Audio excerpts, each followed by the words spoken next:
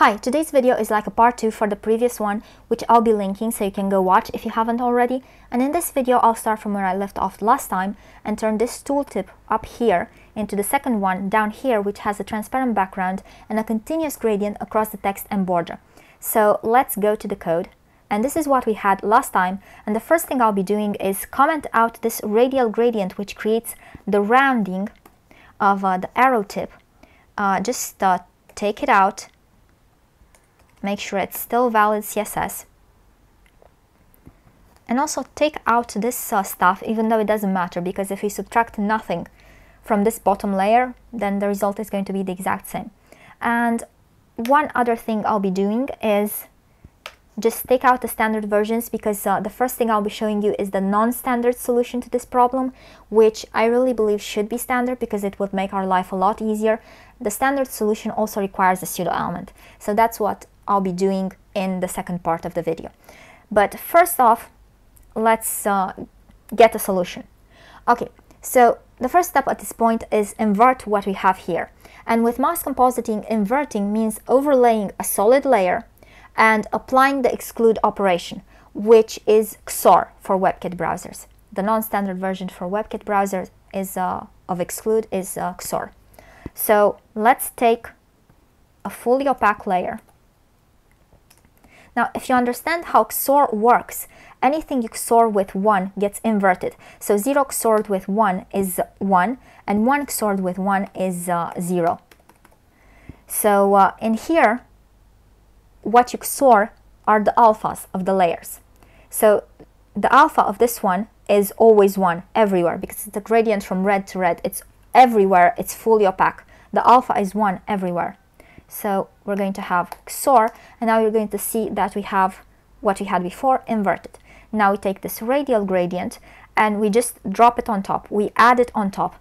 And uh, the non-standard WebKit version for add is source over, which uh, we already have here. So as you can see, source over, and we're going to put it here.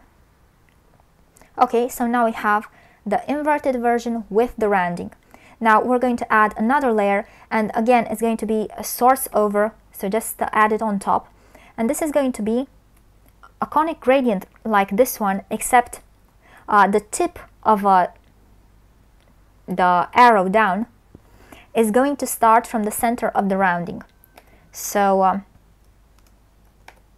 let me show you that. So it's not going to start at the very bottom. We're just going to offset it up. And uh, the center of this radial gradient, as you can see, it's uh, at that offset value from there. So we're just going to take that. So it's going to be uh. And we need to interpolate uh, the Sass. So this is going to be calc. Calc.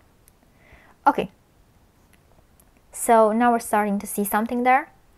Uh, next thing we'll be doing is adding another rectangle within the padding box and it's going to be at a distance equal to that uh, tiny border width from each and every one of these edges.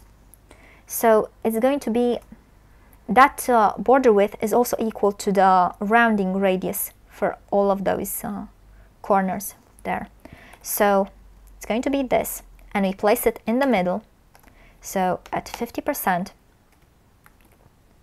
okay and the dimensions are going to be 100% and we need to subtract that border width which is the rounding of every corner. So it's going to be twice. We need to subtract it once on each side.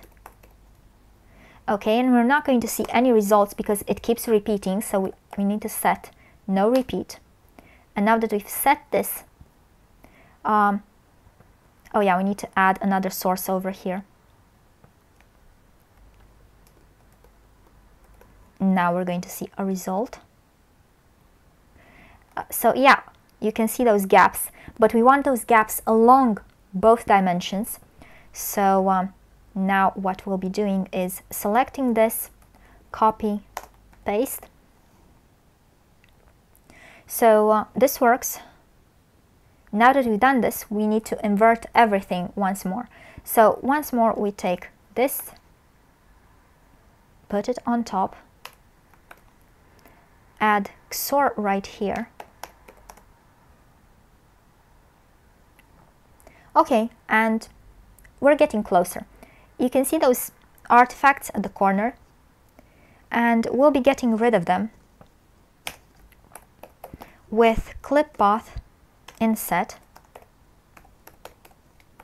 Uh, and this is going to cut one pixel along each edge but it doesn't really work because we have those roundings there. So it's it's cutting but it's cutting outside the rounding.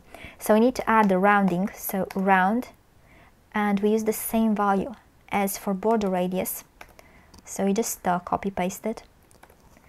Uh, the sad thing is that while this works I believe that clip path is only supported with a prefix in Safari so sadly we need to add WebKit yeah so that it works in Safari as well.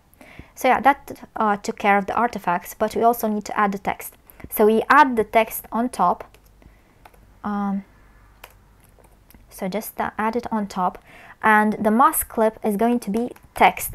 And this is what is non-standard as and is not supported by Firefox so here we're just going to add on top which means source over source over. Okay. And now we have the result except the color is white and it covers uh, the gradient. So we set the color to transparent. And now we have the result we wanted. Okay, now the thing I want to show you right here, if from this point on it starts repeating. So if we take out these values, CSS is going to automatically start repeating from here. So the result is going to be the same. So yeah, I've done this and this is the reason why I took out that radial gradient from the end because if we had source out at the very end, then we wouldn't have had this repetition. The thing uh, with mask compositing, there's more than one way of getting the same result and whichever works uh, better for you, use that one. And now for the standard version. So we're going to have supports, not WebKit, mask, clip, text, okay. Now do this. Okay. Alignment fail.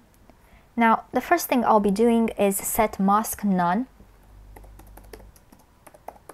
because for some reason Firefox also applies the WebKit mask. Okay, and something else I want to do is make this uh, mask layer with the text optional. So put this inside a custom property. And then we're going to reset this to nothing. Except Sass doesn't like this kind of value inside for a custom property.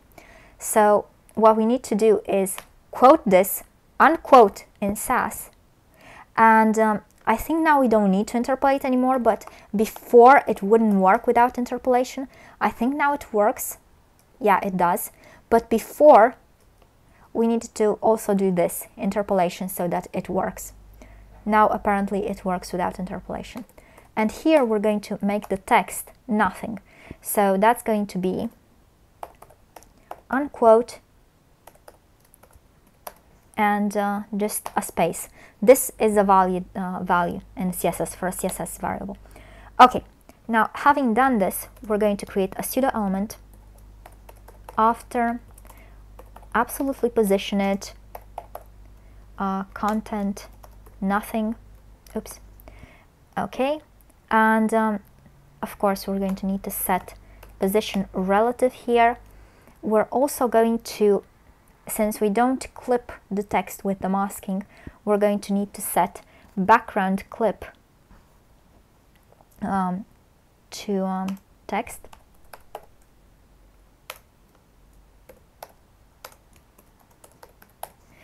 Uh, and here we make this cover the entire parent except this parent has quite a big border.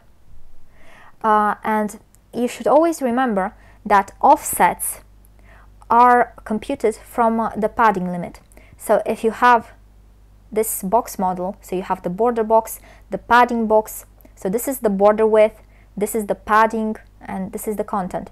And this is the padding limit, the outside of the padding.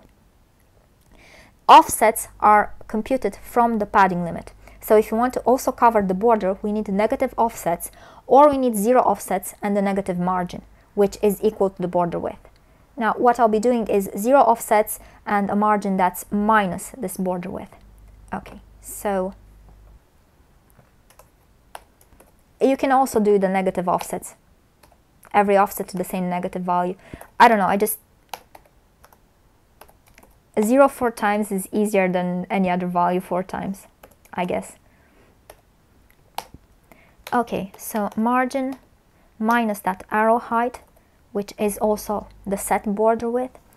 Okay, having done this, we set background inherit. We also set border inherit. Um, and we also set border radius inherit. Um, and here we revert the background clip from text to border box. Okay, now having done this, we also set the mask.